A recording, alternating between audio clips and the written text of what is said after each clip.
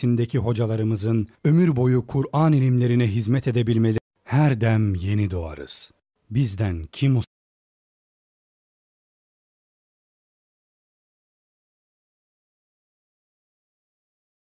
Her dem yeni doğarız. Bizden kim usanası?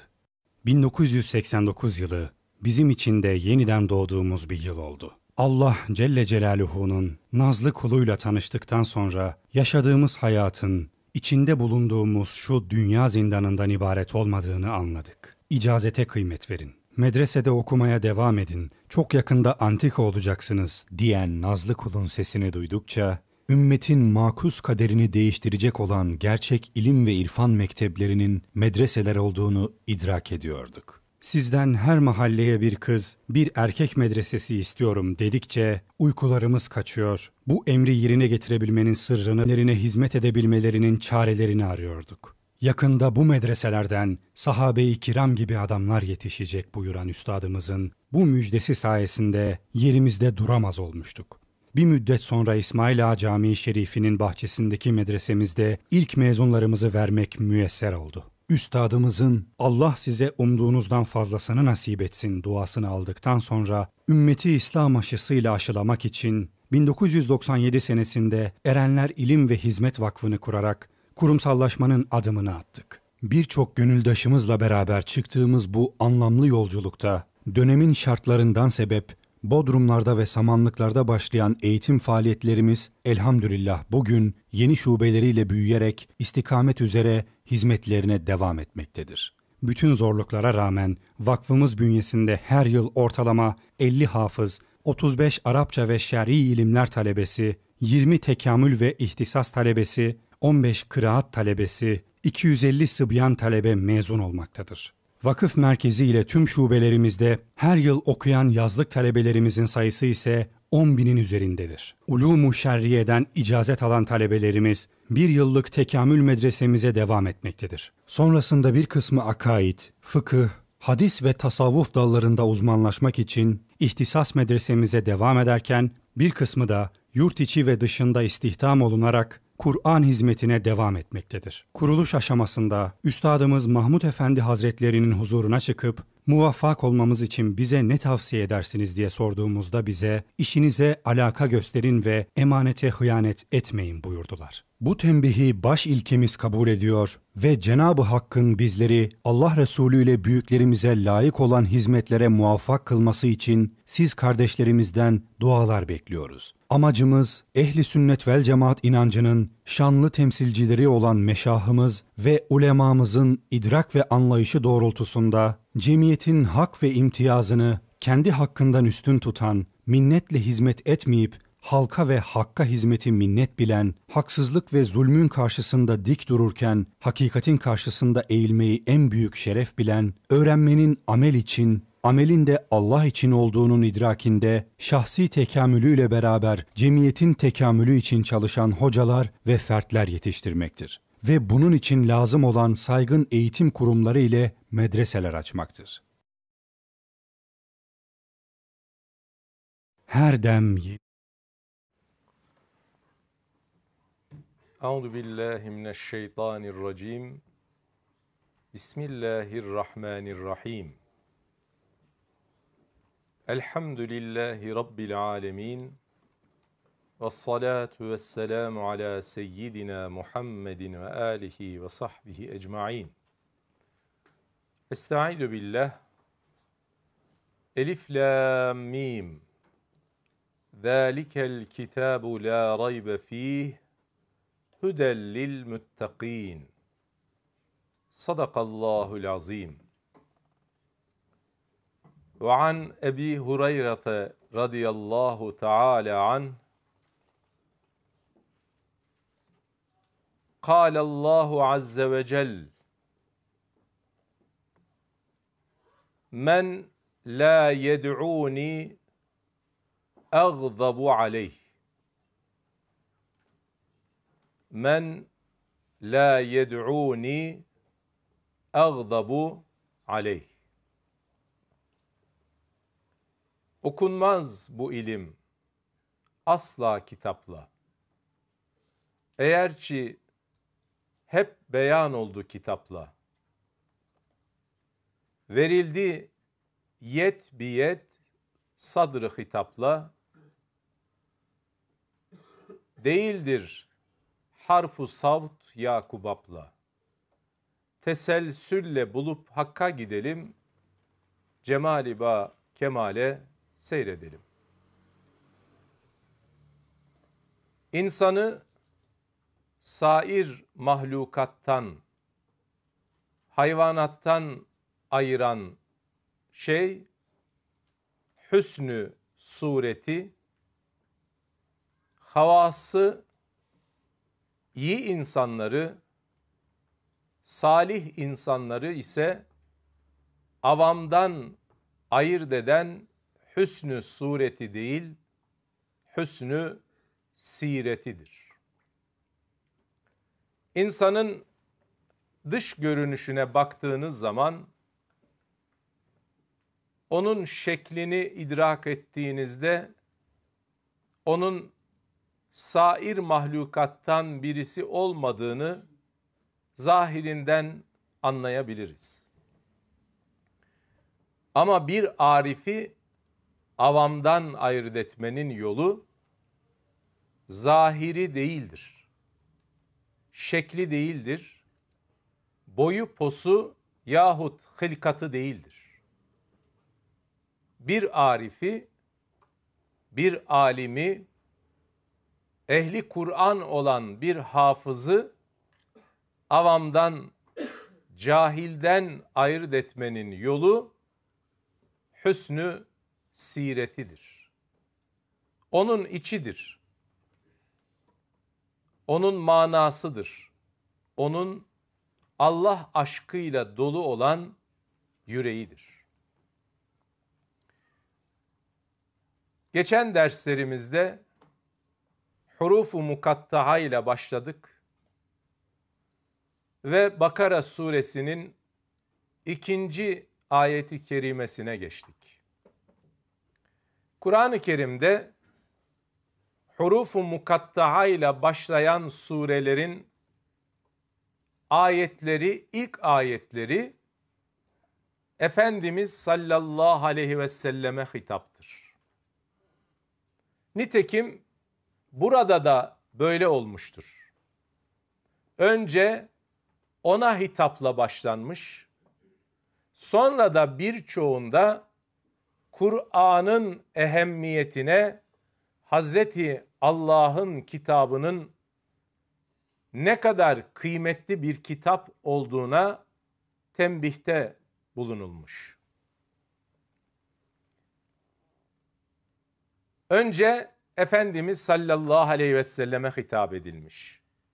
Çünkü hem hurufu mukattaların mana cihetiyle muhatabı Peygamberimiz aleyhissalatu vesselam hem de onun eliyle ümmete miras bırakılacak olan hikmet menbaı Hazreti Kur'an ilk olarak Resulullah sallallahu aleyhi ve selleme inzal buyurulmuş. Gözü görmek istemeyen yahut gözüne mendil bağlayanlar daha Kur'an'ın ilk indiği dönemlerde iki şeyle sürekli alay etmişlerdir. İki şeye gülmüşler. İstihfafta bulunmuşlar, istihzada bulunmuşlar. Birincisi Hazreti Resulullah'ı kastederek Allah bu büyük vazifeyi, bu büyük sorumluluğu Abdullah'ın yetimine mi layık gördü diyerek Efendimiz sallallahu aleyhi ve sellemin mal ve servet cihetinden, dünya cihetinden zayıf olmasından sebep nübüvvete layık olmadığını iddia etmişler.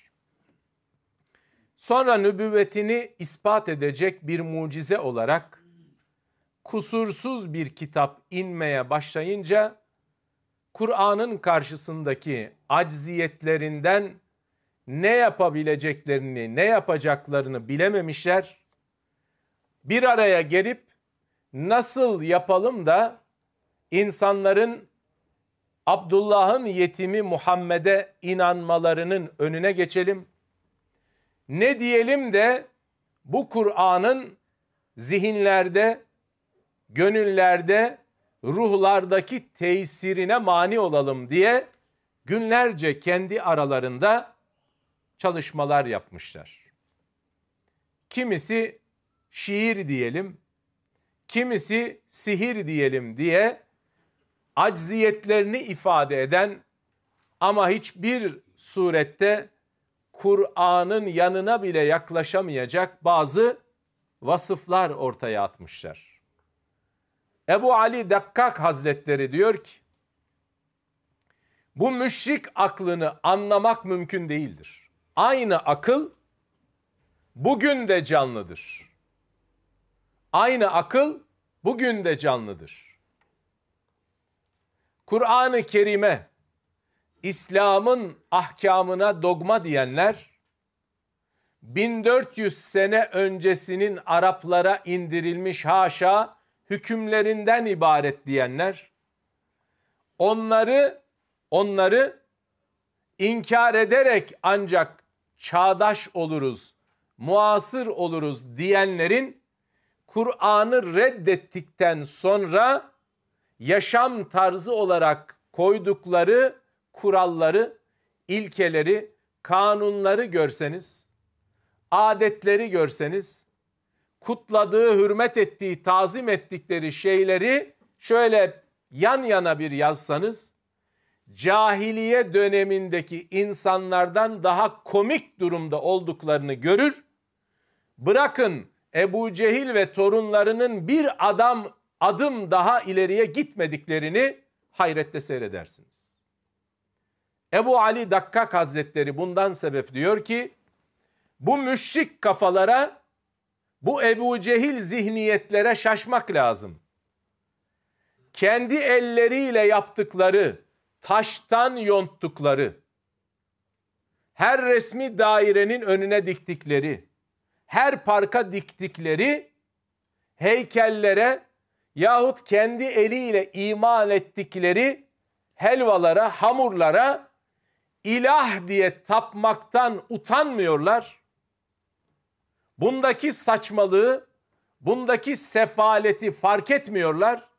Kendilerinin düştüğü o zayıf duruma, gülünç ve komik duruma bakmak yerine kainatın sahibi olan, kainatı yoktan var eden Hazreti Allah'a inanmaya, ona ubudiyete şaşıyorlar. Onun bütün insanlık arasında icmala, ittifakla emaneti kabul edilmiş, fetaneti kabul edilmiş, sadakati kabul edilmiş, belagatı kabul edilmiş, Allah'tan vahiy olarak aldığı hiçbir şeye katma yapmadan, eksiltme yapmadan ümmete ulaştırmış bir insanın peygamber oluşunu sorguluyorlar. Bu onlar için garip, bu onlar için şaşılacak bir mevzu ama taşa tapmak, puta tapmak yahut kendi elleriyle pişirdikleri hamurdan helvalara tapmak onlar için doğru bir hareket. Herkesi kendi doğrusuyla baş başa bırakıyor ve biz işimize bakıyoruz. Bakara suresinin ikinci ayeti kerimesinde Hazreti Allah zelikel kitap buyurdu. Bu zelike kelimesinde üç kelime bir arada. Birincisi za işaret ediyor. İkincisi lam uzaklığı ifade ediyor. Üçüncüsü de ke sana ya Muhammed diyor. Ben şu çok uzaklarda olan bu kitabı sana işaret ediyorum diyor. Niye uzakta diyoruz? Birkaç farklı mana verilse de Kur'an-ı Kerim'in uzaklığı bugün itibarıyla mushafı itibarıyla, ayetleri telaffuzu itibarıyla değil, onun şanını kavrama, onun kıymetini anlama, ona karşı vazifelerimizi, sorumluluklarımızı hakkıyla yerine getirme hususunda bizden çok uzak. O bizden uzak, biz ondan ırak. Cenab-ı Hak buyuruyor ki, Kul huve nebe'un azim. Entüm anhu mu'ridun. Kur'an'ın bir ismi de ki Kur'an-ı Kerim'de yaklaşık 28 tane Kur'an'ın ayrı ismi zikrediliyor. 6-7 farklı şekilde de vasfediliyor. Bunlardan birisi de Kul huve nebe'ün azim. Kul ey Habibim. Söyle, duyur. Hüve bu Kur'an, bu kitap nebe'un çok büyük bir haber. Nebe haber demektir. Nebi de haber veren demek. Nasıl bir haber? Azimun çok büyük bir haber demek. Ne demek istiyor? Siz Kur'an'ın size bildirdiği haberleri dinlerseniz, inanırsanız, ciddiye alırsanız etrafınızdaki olan şeyler artık sizi ilgilendirmez. Sizin gözünüzde küçüldükçe küçülmeye başlar. Müslümana da yakışan Kur'an'a bu kıymeti vermektir. Nitekim geçen derslerimizde bir hadis-i şerif okumuştuk. Efendimiz sallallahu aleyhi ve sellem buyuruyor ki men qara'el Kur'ane fera'a enne ahaden min halqillah u'tiye efdale mimma u'tiye fekad hakkara ma azzamehullah ve azzame ma hakkarahullah buyuruyor Efendimiz sallallahu aleyhi ve sellem. Bir adam ehli Kur'an olmuş. Bir adam Kur'an-ı Kerim okuyor. Kur'an'ı anlıyor. Ömrünü Kur'an'a vakfediyor. Sonra bir anlık gaflet, nefsin hilesiyle, bazı korkularla beraber kendisinden başkasının Kur'an ehli olmayan herhangi bir kimsenin kendisine verilen Kur'an nimetinden daha büyük bir nimete sahip olduğunu düşünse, böyle zannetse Allah'a isyan etmiş olur. Allah'ın muazzam büyük gördüğünü, nebeün azim diye vasıfladığını Allah'ın huzurunda tahkir etmiş demektir. Küçük görmüş, görmüş demektir. Seneler önce 100 tane sivil toplum kuruluşunun temsilcisiyle bir araya geldik. Hepsi İslam dertlisi, temiz kardeşlerimiz. Hepsinin derdi İslam'a hizmet etmek, vatana hizmet etmek, bu milletin evlatlarına, bu ülkeyi seven yurt içinde, yurt dışında insanlara hizmet ulaştırmak, onları mutlu etmek. Tanışıyoruz. Herkes kendisini diplomasıyla, ünvanıyla, Kur'an'ın dışında okuduklarıyla tarif ediyor. Herkes böyle bir tarif yapıyor. Hiç kimse ben hafızlık yaptım, ben hafızım, ben şer'i ilimlerden icazet aldım, fıkıh öğrendim, tefsir öğrendim, hadis alimiyim diye tarif eden yüz tane ayrı vakfın içinden bir kişi çıkmadı. Kur'an'a böyle mi kıymet vereceğiz? Seneler önce Üstadım Mahmud Efendi Hazretleri ile beraber İmam Rabbani Hazretlerinin mektubatını okuyacağız. Cemaat hazır bekliyor. Ben kitabı aldım kürsünün kenarındayım. İbareyi okuyorum. Şeyh Efendi mana veriyor. Kur'an'ın ehemmiyetini anlatan bir mesele geldi. Üstadımız buyurdu ki bugün bana bir hanım kardeşimiz geldi.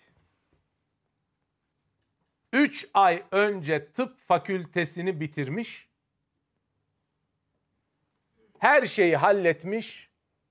Bir tek diploma almak kalmış. O arada da medrese ne demek öğrenmiş, Kur'an-ı Kerim'le tanışmış, her şeyi bir kenara bırakarak medreseye başlamış. Kendini her şeyiyle Allah'ın dinine vermiş. Aradan 3 ay 5 ay geçtikten sonra onu davet etmişler. Falanca günü mezuniyet günüdür. Gel diplomanı al diye. Çarşafını giymiş, çarşafıyla beraber benim karşıma geldi. Ben hiçbir hanım cemaatimi, hocamı, talebemi yüzüyle tanımam. Çünkü şimdiye kadar hiçbir hanımın yüzüne bakmadım buyuruyor. Anca sesiyle veya ismiyle tanırım. En yakınımdakileri bile yüzüyle tanımam. O da kendisini anlattı ve benden izin istedi. Gidip tıp fakültesine mezuniyet gününde diplomamı almama müsaade eder misin? Çarşafımı çıkaracağım. Onun yerine siyah bir ferace giyeceğim ve 10 dakika diplomalı alıp geleceğim. Soruyor. Şeyh efendi ona ne dedim biliyor musunuz?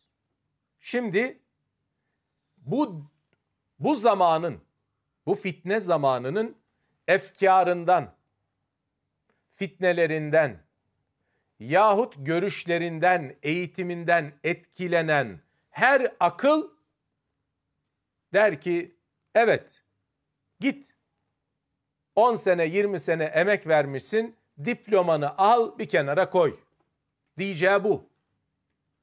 Ve bugün bu cevabı kolay kolay hiç kimse yadırgamaz.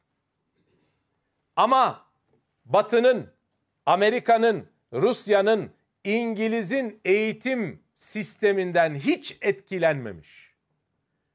Gözünü açtığı günden 90 yaşına kadar Kur'an'dan başka hiçbir şeyle meşgul olmamış. Bu Mahmud ömründe bir kez olsun bir hanım kardeşinin çarşafına bile şehvet nazarıyla bakmamıştır diyecek kadar Allah'ın çizgisinde olan bir insanın aklı bir Allah dostunun, bir peygamber aşıklısının, sevdalısının, aşığının vereceği cevap bizim cevabımız gibi olmayacak ve üstelik o cevabı duyduğumuzda bizim kirli aklımız maalesef yadırgayacak. Maalesef yadırgayacak. Deli suyunu içen onlar değil. Deli suyunu içen biziz. Nedir bu deli suyu? Padişahın veziri bir rüya görüyor.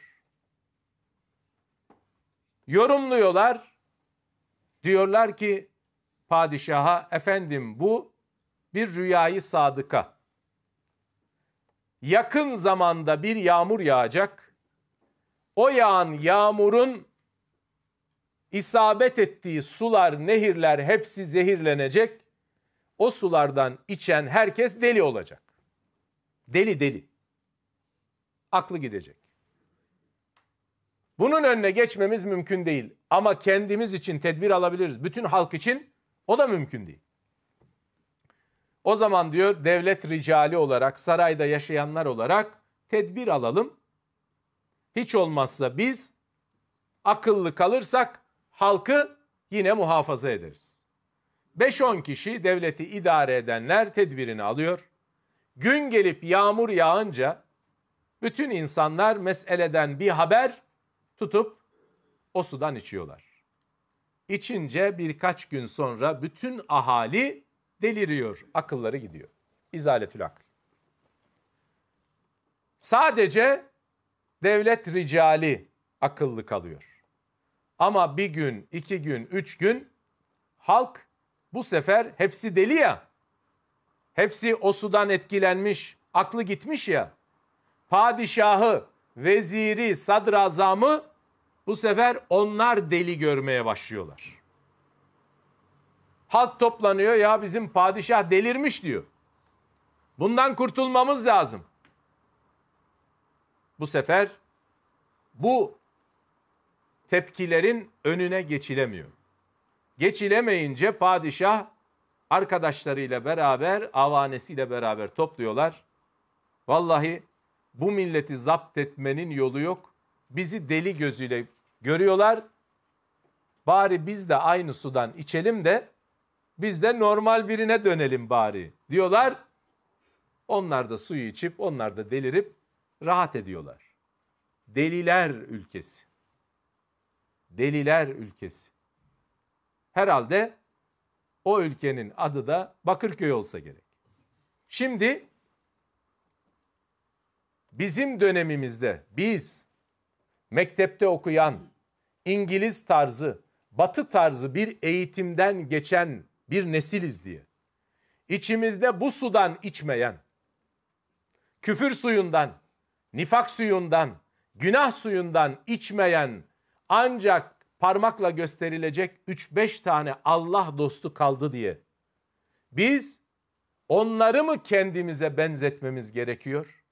Yoksa asrı saadete tutunmaya çalışan o üç tane beş taneyi koruma altına alıp Firavundan kalan eser olsa koruruz. Firavundan Bizans'tan kalan tabak olsa koruruz. Kefen olsa koruruz.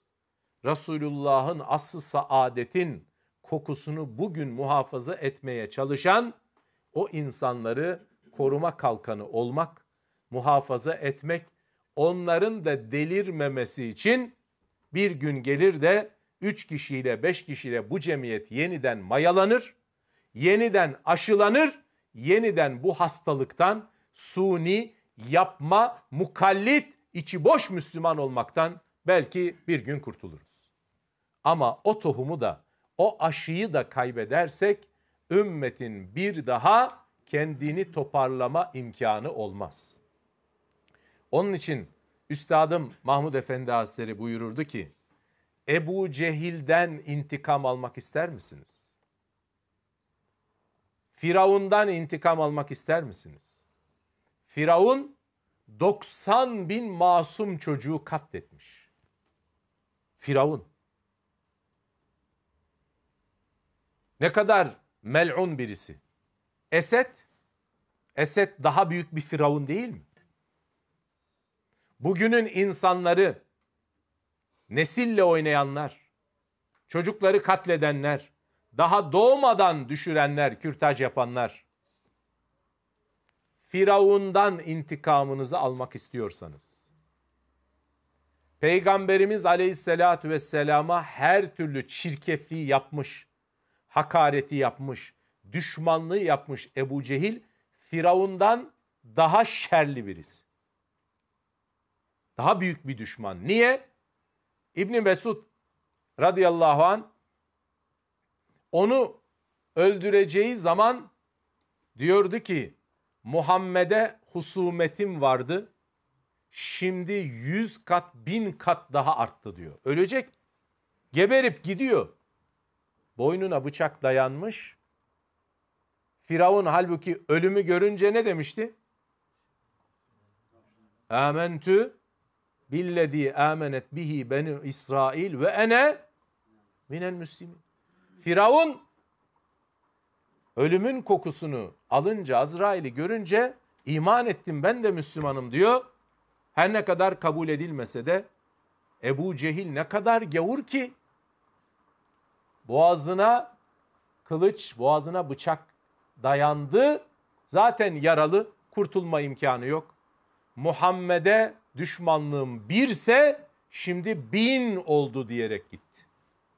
Eğer bu Ebu Cehil'den intikamınızı almak istiyorsanız, Ebu Cehil'in bugünkü temsilcilerinden intikam almak istiyorsanız, İslam'ı hazmedemeyenler, Allah'ın kelamına sataşanları, Müslümanlara hayat hakkı tanımayanları eğer bugün hazımsız kılmak istiyorsanız, mütü bi gayziküm diyen Cenab-ı Hak gibi öfkelerinde geberik bitsinler istiyorsanız, Üstadım buyuruyor ki, şeriatı yaşamak, İslam'ı yaşamak, Kur'an'ın, hadisin, Allah'ın peygamberin istediği gibi bir Müslüman olmak inkar edenlerin, müşriklerin, İslam düşmanlarının kafasına balyoz vurmaktan daha fena gelir onlara diyor.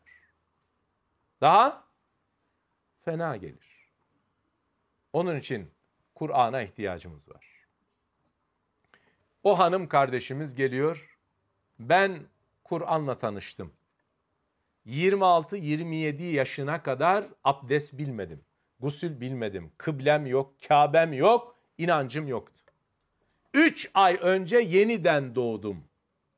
Şimdi Kur'an'ı bulmuş, İslam'ı bulmuş, doğru yola girmiş birisi olarak acaba eski hayatımda abdestsiz, gusülsüz, usulsüz dönemimdeki hayatıma 10 dakikada dönsem, o diplomamı alsam bana müsaade var mı deyince Efendi Hazretlerimiz buyurdu ki ben ona dedim ki gitme. Gitme. Öyle deyince hemen kafamda soru işaretleri başladı. Sizin de. Niye? Kürsünün yanındayım. Şöyle kenarına vurdu. Molla Mahmut sen şimdi sorarsın niye gitme dedim diye. İrkildim. Evet dedim. Vallahi ben de bunu düşünüyordum. Beş dakika gidecek diplomasını alacak. Zaten 20 sene gitmiş. Buyurdu ki ona gitme dedim. Niçin biliyor musun? Cenab-ı Hakk'ı tanıdıktan sonra, kitabı Hazreti Kur'an'ı tanıdıktan sonra, İslam'ı, çarşafı, medreseyi tanıdıktan sonra eğer giderse bu Kur'an'ın, bu nimetin kıymetini anlamadım demektir. Kul huve nebe'un azim bunu anlamadım demektir. Zalikel kitabu la raybe fih bunu anlamadım demektir. Ama yok ben bu kitapla tanıştıktan sonra Allah'ım sen ne olur şahit ol. Bütün melekler şahit olsun. Bütün insanlar şahit olsun. Ben Kur'an'la tanıştıktan sonra, İslam'la tanıştıktan sonra, Allah'ın diniyle tanıştıktan sonra geride bıraktığım hiçbir şeye dönüp bakmayacağım. Bakmıyorum.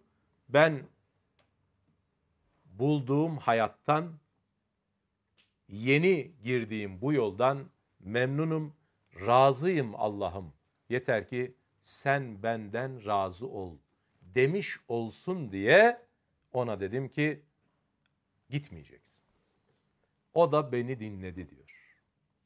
Gitseydi sıradan birisiydi. Ama gitmeyince tarihe mal oldu. Şimdi şimdi siz bizden talebeleriniz, cemaatiniz, evlatlarınız sizden duyacak ve böyle kahraman bir bacımız olmasıyla bugünün Sümeyyelerinin varlığıyla biz de iftihar etmeye devam edeceğiz.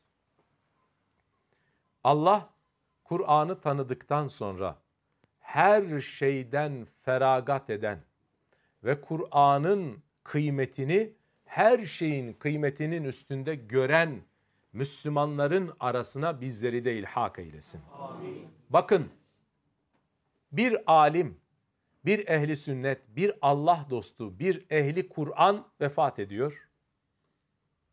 O gülerek ahirete göçüyor. Özleyerek ahirete gidiyor. Arkasında binlerce, milyonlarca ağlayan insan kalıyor. İşte bugün cenazesi defnedilen yüzlerce binlerce hafızı kurra yetiştirmiş Hüseyin Harput Hoca Efendi ahirete eserleriyle güle güle gitti. Güle güle. Arkasına bakmadan gitti. Kaddimuni, kaddimuni diyerek gitti. Beni acele götürün. Kavuşmak, ulaşmak istediklerimin yanına diyerek gitti. Niye? Niye bir ehli Kur'an güle güle gidiyor? Bir Zengin ise bir servet sahibi ağlaya ağlaya gidiyor. Vallahi ölümden o kadar çok korkuyor ki dünyacılar. Adam biriktirmiş, biriktirmiş, biriktirmiş, biriktirmiş Karun gibi. Onların hepsini bırakıp gitmek, bir boş çuvalın içine sokulup çamurun içerisine yatırılmak, Boğaz'daki villadan bodrum katına inmek kolay bir şey midir? Kolay değil. Üstelik bir zengin öldüğü zaman varisleri gülüyorlar, seviniyorlar. Dünyanın diyelim en zengin adamı ölünce çocukları ağlamış mıdır yoksa ellerini mi ovuşturmuştur? Muhtemelen ellerini ovuşturmuştur. Ben öyle zengin çocukları tanıdım ki babaları hayattayken mezara koymak için çareler aradılar. Deli hastanesinden ehliyetsiz raporu çıkarıp mallarına el koymaya çalışan evlatlar tanıdım. Zengin öldüğü zaman ağlaya ağlaya feryadede feryadede gidiyor. Ya veyleta ya leyteni küntü turaba keşke toprak olsaydım diyor ehli dünya. Ama ehli Kur'an güle güle gidiyor. Arkasındakiler ağlıyor. Yadında mı doğduğun günler? Sen ağlardın, gülerdi alem. Öyle bir ömür sür ki mevtin, öyle bir ömür sür ki mevtin, sana olsun hande, aleme matem. Senin ölümün senin için neşe sebebi, huzur sebebi olsun. Bütün alem üzülsün. Niye bir alem, bir alim öldüğünde o ölümü ona hande oluyor da, surur sebebi oluyor, zindandan çıkmış gibi oluyor da arkasındakiler matem ve yasa bürünüyor. Çünkü İslam'a çalışanlar, ahiret için çalışanlar, Allah'tan yüzünü çevirmeyenler bu alemde kazandıkları bütün ameli salihlerle beraber ahirete göçüyorlar. Amelleri kendinden önce gidiyor. Ya eyyühellezine amenüttekullaha vel tendur nefsün ma kaddemet li gadin. Ey iman edenler Allah'tan korkun takvanın bir manası da haşyettir. Bir sonraki derste eğer dersimiz takvaya gelirse takvanın Kur'an'da hangi manalara geldiğini göreceğiz. Ya eyyühellezine amenüttekullah Allah'tan korkun.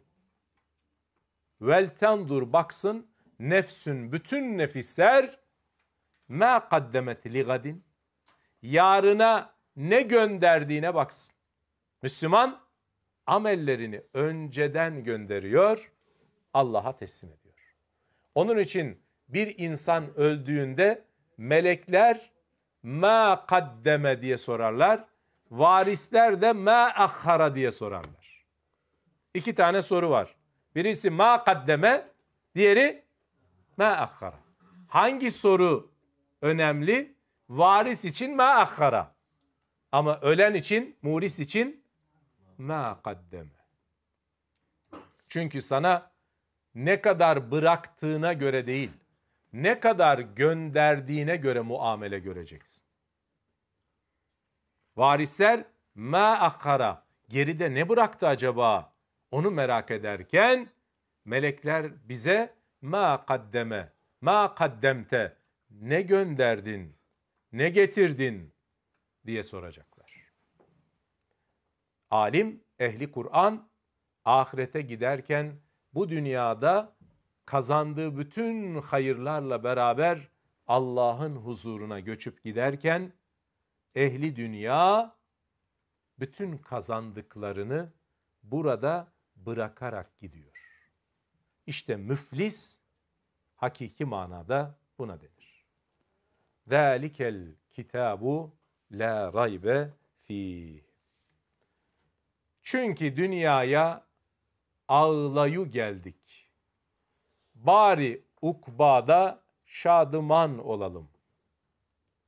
Çünkü dünyaya ağlayı geldik. Çünkü biz bu dünyaya ağlayarak geldik. Bari ukbaya şaduman gidelim. Bari ukbada şaduman olalım. Madem ki dünyaya gelirken ağladık, hiç olmazsa bir gün yüzümüz gülsün. O da Allah'a giderken. Cenab-ı Hak son nefeste gülenlerden olmayı bizlere nasip eylesin. Vel akibetu lil muttakin sırrına bizleri de sevdiklerimizi de bütün mümin kardeşlerimizi de ilhak eylesin.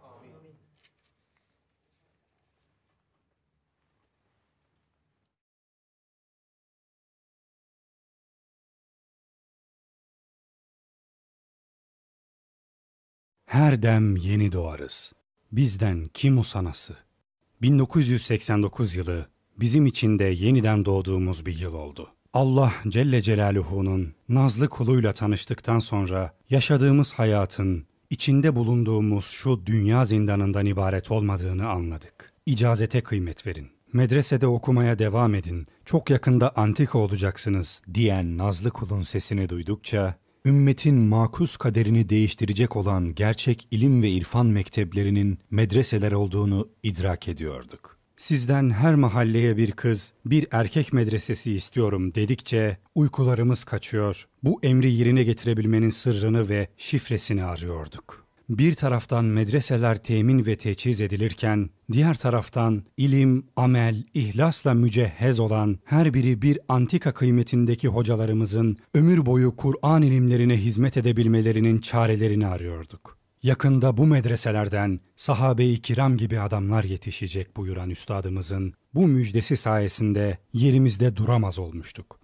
Bir müddet sonra İsmail Ağa Camii Şerifi'nin bahçesindeki medresemizde ilk mezunlarımızı vermek müyesser oldu. Üstadımızın Allah size umduğunuzdan fazlasını nasip etsin duasını aldıktan sonra ümmeti İslam aşısıyla aşılamak için 1997 senesinde Erenler İlim ve Hizmet Vakfı'nı kurarak kurumsallaşmanın adımını attık. Birçok gönüldaşımızla beraber çıktığımız bu anlamlı yolculukta dönemin şartlarından sebep Bodrumlarda ve samanlıklarda başlayan eğitim faaliyetlerimiz elhamdülillah bugün yeni şubeleriyle büyüyerek istikamet üzere hizmetlerine devam etmektedir. Bütün zorluklara rağmen vakfımız bünyesinde her yıl ortalama 50 hafız, 35 Arapça ve şer'i ilimler talebesi, 20 tekamül ve ihtisas talebesi, 15 kıraat talebesi, 250 sıbyan talebe mezun olmaktadır.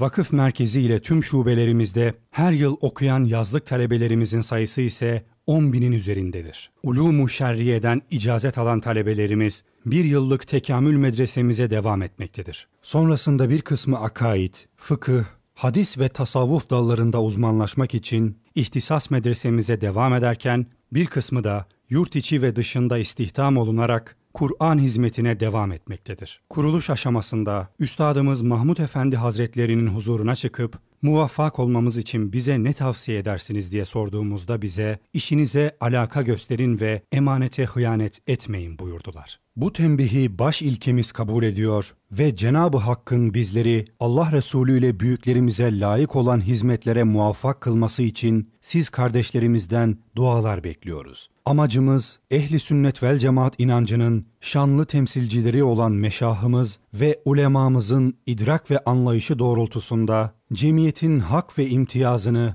kendi hakkından üstün tutan, minnetle hizmet etmeyip halka ve hakka hizmeti minnet bilen, haksızlık ve zulmün karşısında dik dururken, hakikatin karşısında eğilmeyi en büyük şeref bilen, öğrenmenin amel için, amelin de Allah için olduğunun idrakinde, şahsi tekamülüyle beraber cemiyetin tekamülü için çalışan hocalar ve fertler yetiştirmektir. Ve bunun için lazım olan saygın eğitim kurumları ile medreseler açmaktır.